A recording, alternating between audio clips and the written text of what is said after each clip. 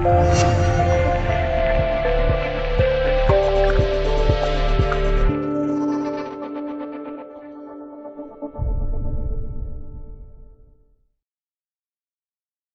二七年，大革命失败，一个叫夏斗寅的师长功不可没。蒋介石叛变后，武汉政府起兵讨蒋，但是驻兵湖北的独立第十四师师长夏斗寅突然出兵进攻武昌，引起武汉政府矛盾加剧，陷入内外交困之中。随后宣布清党，宁汉合流，轰轰烈烈的大革命由此失败。那么，这个祸首夏斗寅后来结局如何呢？夏斗寅他后来的人生非常有意思。夏斗寅发兵进攻武昌。结果被叶挺打败。尽管如此，因他为宁汉河流立下了大功，他被蒋介石升为第十军军长。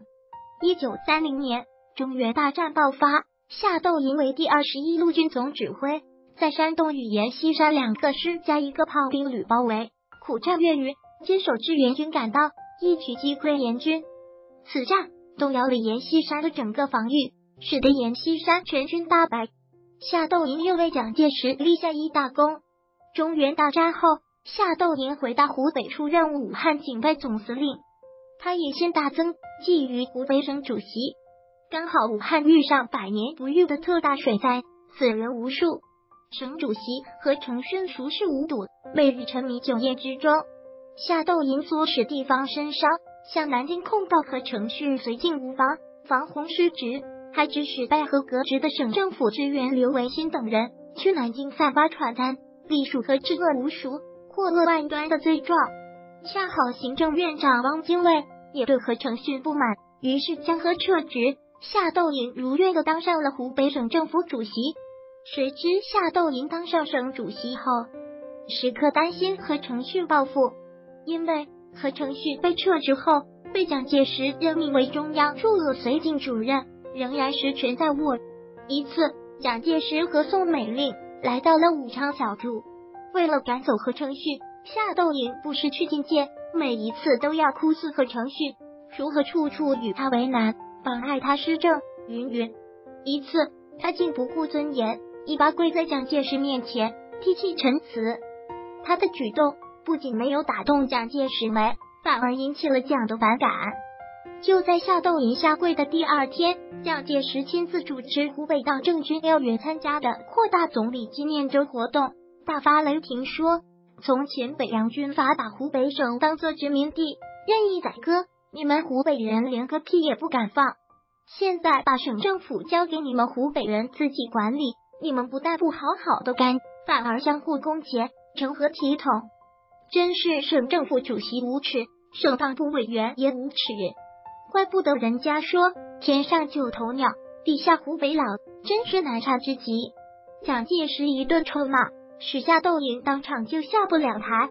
蒋介石骂省主席、省党部委员无耻，人们只是当为笑柄；代骂天上九头鸟，地下湖北佬却引起了轩然大波。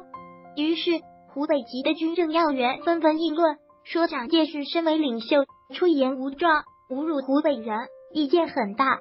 事后，蒋介石也觉得自己一时冲动，脱口而出有失官威和身份，于是派夫人宋美龄出面开了一个大型茶话会，招待省府、省党部及一些社会上层人士，说了不少好好湖北人的话，算是赔礼道歉。这一场九头鸟风波才平息。蒋介石骂夏斗寅，差点把自己套进漩涡，更是恼怒不已。没多久。就以剿匪兵力不足为由，将夏斗寅的第十三军调离武汉。夏斗寅于是就丢了兵权，兵权既失，省主席自然岌岌可危。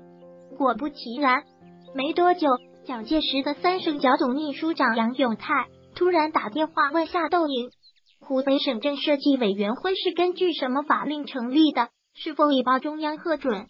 这个委员会是夏斗寅担任省主席时，为了稳住宝座。听从募兵的建议，招贤纳士，在编制外自行设置的。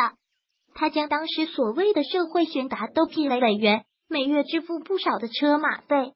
夏斗寅被杨永泰一问，仓卒之间不知所措，只好含糊其辞的说：“我查查，再告诉你。”杨永泰在电话中厉声说：“这是委员长命令我问你的，请你注意。”说完，便啪的一声挂了电话。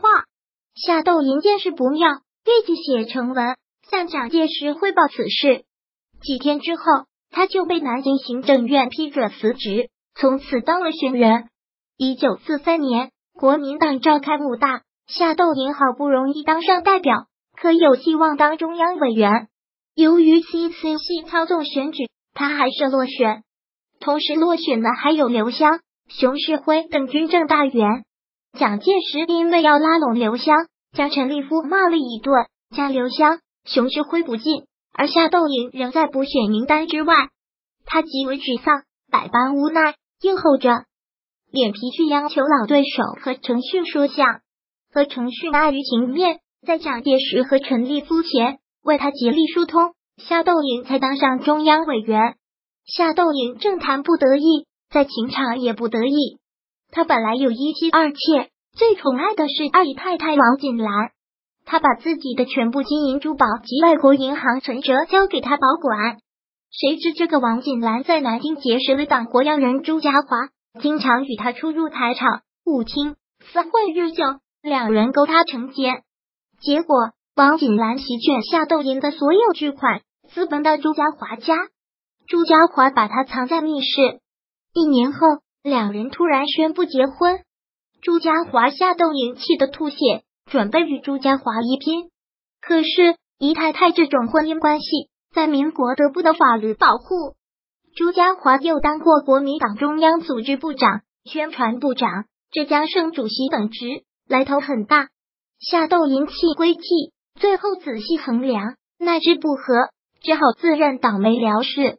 一九四九年，武汉解放前夕，他在进步力量影响下，一度参加地下党领导的救济委员会筹建工作，并在布告上签名。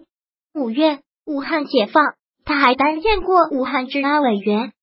可他认为自己一生反共，还是害怕，又经上海去了香港，转去台湾。蒋介石要追究他通匪之罪，吓得他连夜上船，又偷偷跑回香港。以后他在六国饭店以星象为业，专门为人占卦算命。一九五一年，夏斗寅在香港病逝，时年六十七岁。